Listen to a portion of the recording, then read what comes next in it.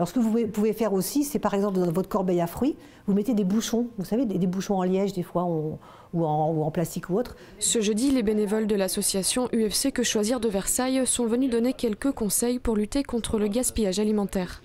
Une conférence organisée pour la première fois à la boutique alimentaire de Montigny-le-Bretonneux, concernée elle aussi par le sujet. Nous, on est dans la récupération c'est alimentaire. Donc on évite déjà cette partie de gaspillage. Si on a plus de 25 familles à nourrir, on ne va pas en prendre pour 50. Voilà. On essaye vraiment euh, le matin, de toute façon, mais tous les matins avec l'équipe de quatre euh, agents, de, on trie directement nous. Malgré ces précautions, la boutique gaspille de temps en temps, mais très rarement, moins de 5% des denrées d'après le responsable. Comme on n'attend pas un public tous les jours bien précis, il suffit qu'on ait une baisse en fait, tout simplement. Et dans nos prévisions, c'est vrai que ça peut nous arriver. Tous les conseils sont donc bons à prendre pour éviter de jeter. Certains en ont retenu quelques-uns.